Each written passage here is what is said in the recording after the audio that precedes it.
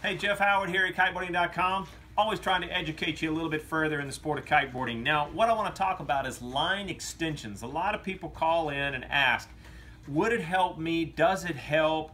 Is it worth it having a line set that has multiple line extensions on there and why? Well, I want to try to get the Hulk here and the kite and try to explain a little bit about what this does. Now, line extensions are very easy. You can add them into the system and uh, I, I think they're really good. A lot of people use them to extend the power range of your kite. Now I want to explain to you why. Now, a lot of people will ask, so a shorter line set of why a shorter line set?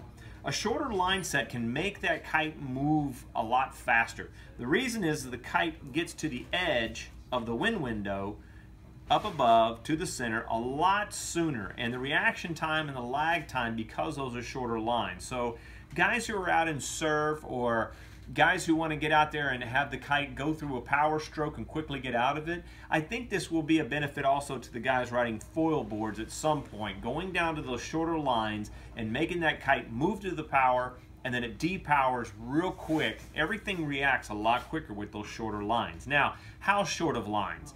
I've seen guys down to the minimum, truly minimum, about 15 meters. I wouldn't go any shorter than that. It really will can start deforming the kite in different ways. I've seen that happen.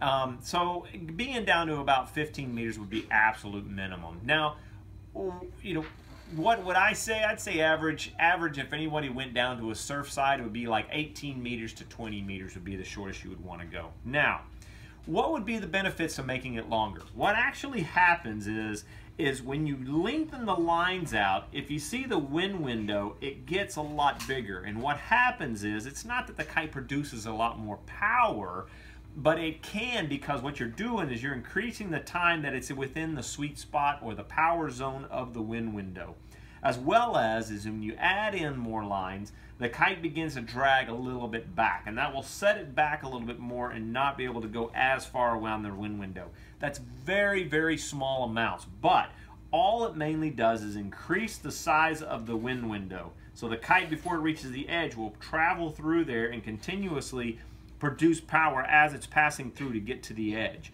So the shorter they are, the quicker it'll get there. The longer they are, the more it has to travel to get to that distance. So is it beneficiary? I really do think so. There's a lot of guys that will come out with a 20 meter line set and then they'll quickly put on a 3 meters or a 5 meters and it will make a difference and you will feel it.